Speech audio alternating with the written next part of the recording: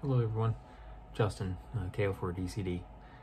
I want to do a quick video on running JS8 call with the IC705. No third-party programs, no nothing special or extra there, just JS8 call, IC705.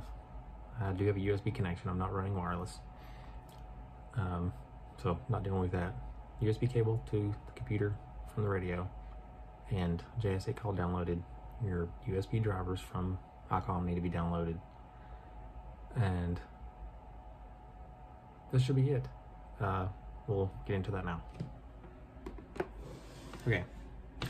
Well, first, pull up JS8 call. I've already got it all set it up, set up, so it is working. But the reason why I'm doing this anyways, because again, there's no option for 705 on my version of JS8 Call here that I've just downloaded. It goes from 703 706. Okay, so what I did was selected the 7300.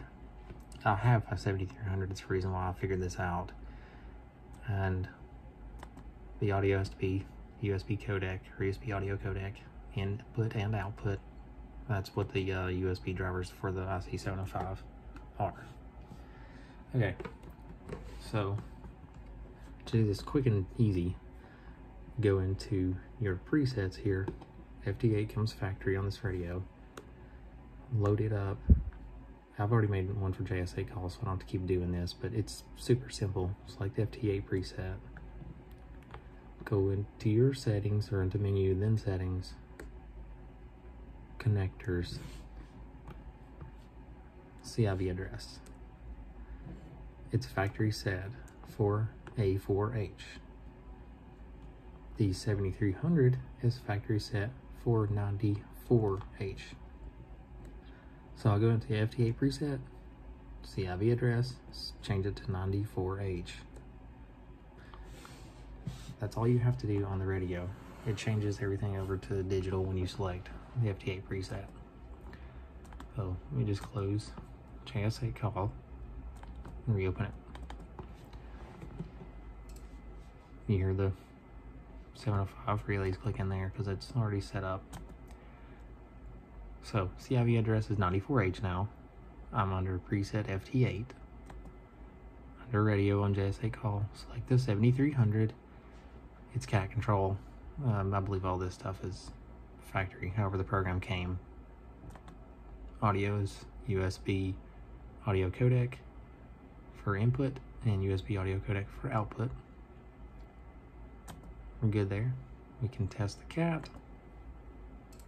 Relay's clicking. Test cat is green. Test PTT. The 705 transmits. Okay. Let's do a quick heartbeat. So you can see here and see if anybody comes back to us. It took me a minute to figure this out.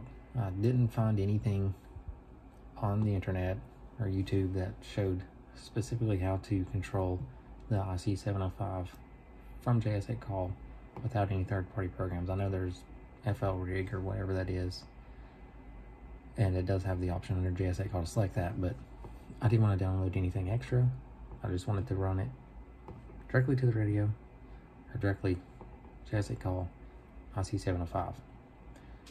And as you can see there, heartbeats are coming back. So it can work.